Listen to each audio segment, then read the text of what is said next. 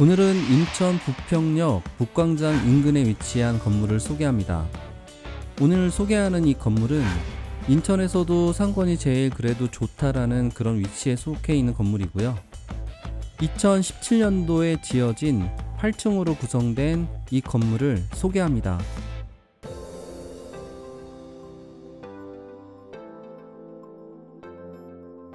안녕하세요. 슬기로운 부동산 생활입니다. 요즘에는 날씨가 상당히 포근해져서 야외로 활동하기에 상당히 좋은 날씨 같습니다. 더불어서 저도 답사를 다니고 있는데요. 이런 날씨만 1년 내내 있으면 좋겠다는 생각을 해봤습니다. 오늘 소개하려고 하는 건물은 원룸 건물입니다. 인천 부평역 북부에 위치해 있는 건물인데요. 인천에서는 가장 큰 상권 중에 하나가 이 부평역이고요. 이 인근에 굉장히 많은 번화가가 있기 때문에 이 지역을 구도심에서는 상당히 좋은 그런 지역으로 보고 있습니다. 부평역 같은 경우에는 뭐 지하철 1호선과 그 다음에 인천 지하철 1호선이 교차하는 역세권이기도 하고요. 그 인근에는 상업 지역이 굉장히 발달이 되어 있는 지역이고요. 영상에서 보시는 것처럼 물건지가 그 인근에 위치해 있습니다. 그래서 오늘 이 건물을 소개하려고 합니다. 오늘 소개하는 이 건물은 매매 금액이 30억에 나왔습니다. 그런데 보증금이 한 15억 정도 현재 들어가 있고요. 월세가 800 정도 나오고 있는 그런 상태입니다. 그래서 대출을 받지 않으셔도 있는 보증금을 활용하셔서 이 건물을 매수하실 때 좀 더 유리하게 활용하시면 좋을 것 같습니다.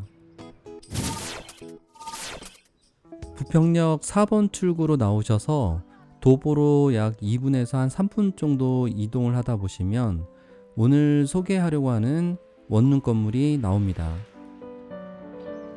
영상에서 보시는 이 건물이 오늘 소개할 건물인데요.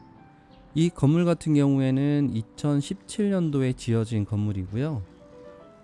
1층은 주차장과 엘리베이터를 탈 수 있는 입구로 형성이 되어 있고요. 어, 각 호실은 2층부터 8층까지 있습니다. 그리고 9층은 기계실 같은 것들이 있습니다. 영상에서 보시는 것처럼 1층 입구 모습인데요. 어, 비밀번호를 누르고 안쪽으로 들어가면 엘리베이터를 타고 이동할 수가 있습니다. 이 건물 같은 경우에는 한 층에 5개 호실로 구분이 되어 있고요. 전체 35개 호실로 운영이 되고 있습니다. 현재는 절반 정도가 전세로 들어가 있기 때문에 보증금이 약 15억 원 정도 형성이 되어 있고요. 월세 같은 경우에는 한 800만 원 정도가 나오고 있습니다.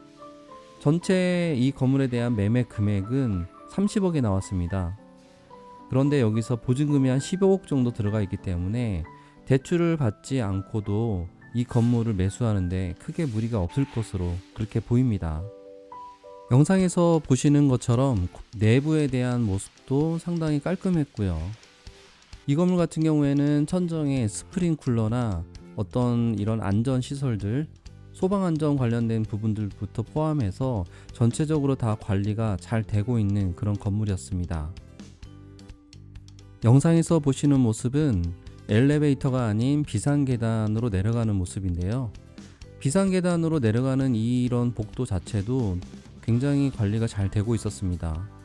오늘 소개하는 이 건물에 대해서 간략하게 정리를 해서 말씀드리면 이 건물은 대지 면적이 191.4제곱미터 약 58평 정도 됩니다.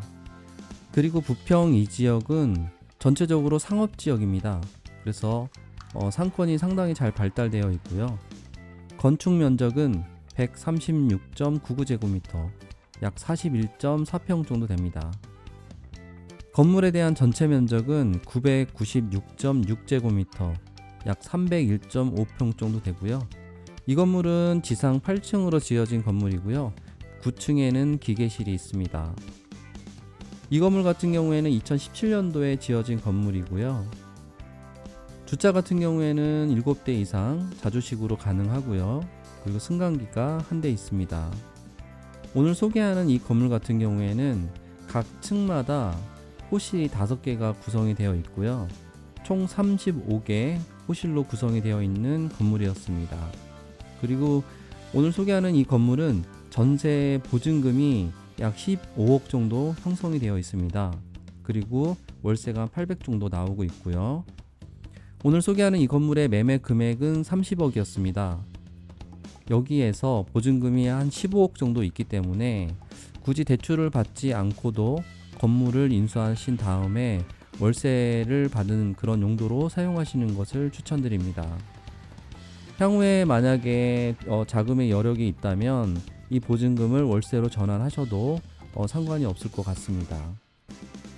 그리고 내부 옵션이나 시설들도 연식이 그렇게 많이 되지 않는 건물이어서 그런지 상당히 깔끔하고 잘 정비가 되어 있는 그런 모습이었습니다.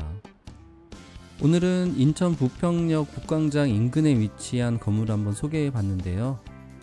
어, 나름 상권으로 봤을 때는 상당히 좋은 상권에 위치한 건물이고 연식도 오래되지 않는 그런 건물이어서 수익을 꾸준하게 얻는 그런 용도로 투자를 하시거나 그런 건물을 찾는 분들에게는 상당히 매력 있는 건물이라고 판단이 됩니다.